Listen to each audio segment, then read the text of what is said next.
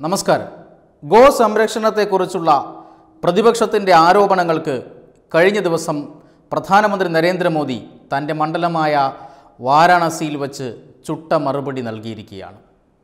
പശുക്കളെക്കുറിച്ച് പറയുമ്പോൾ ചിലരെ സംബന്ധിച്ചിടത്തോളം എന്തോ വലിയ കുറ്റമാണ്. പക്ഷേ പശു ഞങ്ങൾക്ക് മാതാവാണ്. രാജ്യത്തെ ക്ഷീരോത്പാദന മേഖലയെ വികസിപ്പിക്കുക എന്നത് സർക്കാരിന്റെ പ്രധാന കർമ്മ പരിപാടികളിൽ ഒന്നാണ്. ഭാരതത്തിൽ ഗോ സംരക്ഷണം ഒരു ജീവിത വ്രതമാണ്. അത് പ്രാചീന കാലം മുതലുള്ള ഭാരതീയരുടെ തിരിച്ചറിവാണ്.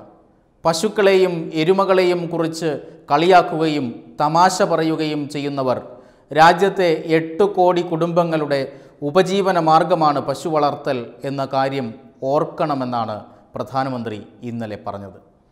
മോദി ഭരണത്തിൽ കടുത്ത വിഷയദാരിദ്ര്യം അനുഭവിക്കുന്ന പ്രതിപക്ഷം. പലപ്പോഴും സർക്കാർ പശുക്കൾക്ക് അമിത പ്രാധാന്യം നൽകുകയാണ് എന്നാണ് പറഞ്ഞു നടക്കാറുള്ളത്. ഉത്തർപ്രദേശിൽ പശുക്കളെ ആംബുലൻസിൽ കൊണ്ടുപോകുന്ന ചിത്രങ്ങൾ കേരളത്തിലും സൈബർ സഖാക്കൾ കൊണ്ടു നടക്കുന്ന ഒരായുധമാണ്. പക്ഷേ ആംബുലൻസ് മാത്രമല്ല ഐ സി യുവും വെന്റിലേറ്ററും പശുക്കൾക്കായി ഈ നാട്ടിലുണ്ട് എന്ന് നമ്മൾ മനസ്സിലാക്കണം.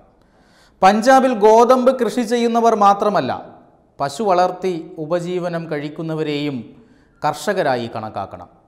രാജ്യത്ത് കഴിഞ്ഞ ആറ് വർഷം കൊണ്ട് ക്ഷീരമേഖല വളർന്നത് നാൽപ്പത്തിയഞ്ച് ശതമാനമാണ്. ഈ ധവള വിപ്ലവത്തിലൂടെ ഉണ്ടാകുന്ന ഊർജം കർഷകരുടെ ജീവിതത്തിൽ വലിയ മാറ്റം കൊണ്ടുവരും എന്ന് തീർച്ചയാണ്. ഉത്തർപ്രദേശിലെ പശു ആംബുലൻസിന്റെ പടം കണ്ട് ചിരിക്കുന്നവർ കേരളത്തിലും എല്ലാ ബ്ലോക്കിലും ഇത്തരം ആംബുലൻസുകൾ വാങ്ങാൻ പിണറായി സർക്കാരും തീരുമാനിച്ച കാര്യം അറിഞ്ഞു കാണുമോ എന്നറിയില്ല. രാജ്യത്തെ ഏറ്റവും പുതിയ കന്നുകാലി സെൻസസ് പ്രകാരം പത്തൊൻപത് കോടി കന്നുകാലികളാണ് രാജ്യത്തുള്ളത്. രാജ്യത്തെ ജനസംഖ്യ അനുപാതികമായി കന്നുകാലിയ സംഖ്യ ഇപ്പോൾ പര്യാപ്തമായ നിലയിലാണ് എന്നാണ് വിദഗ്ധർ പറയുന്നത്. പക്ഷെ കർഷകരുടെ ഉപജീവന മാർഗമായ ഈ കന്നുകാലികളെ അറവുകാർ കണ്ണുവയ്ക്കുമ്പോൾ കർഷകരുടെ ഭാവിയും അതുപോലെ തന്നെ രാജ്യത്തിന്റെ ഭക്ഷ്യസുരക്ഷയും അപകടത്തിലാവും എന്നതാണ് യാഥാർത്ഥ്യം. അതിനാലാണ് പല സംസ്ഥാനങ്ങളും ഗോ സംരക്ഷണ നിയമങ്ങൾ കർശനമാക്കുന്നത്. ഇരുപത്തിയെട്ട് സംസ്ഥാനങ്ങളിൽ ഇരുപത്തി അഞ്ചിലും ഗോവധ നിരോധനങ്ങളോ നിയന്ത്രണങ്ങളോ ഉണ്ട്. ഇവയൊന്നും ബി ജെ പി സർക്കാരുകൾ കൊണ്ടുവന്നതുമല്ല. രാജ്യത്തിന്റെ ഭരണഘടനയിൽ എഴുതി വച്ചിട്ടുള്ളതാണ് ഗോവധ നിരോധനം. ഉത്തർപ്രദേശിനെ കളിയാക്കുന്ന കേരളത്തിലെ ഏമാന്മാർ ഇവിടെ പാലിനായി ഗുജറാത്തിൽ നിന്നും തമിഴ്നാട്ടിൽ നിന്നും വരുന്ന വാഹനങ്ങളെ തേടിയിരിക്കുകയാണ്. കേവലം മതപരമായ ചിന്തയല്ല രാജ്യത്തിന്റെ കാർഷിക സമ്പദ്വ്യവസ്ഥയ്ക്ക് അത്യന്താപേക്ഷിതമായ നയമാണ് ഗോസംരക്ഷണം. കാർഷിക സമ്പദ്വ്യവസ്ഥയുള്ള എല്ലാ രാജ്യങ്ങളിലും ഇപ്പോഴും ഗോസംരക്ഷണം നിലവിലുണ്ട്.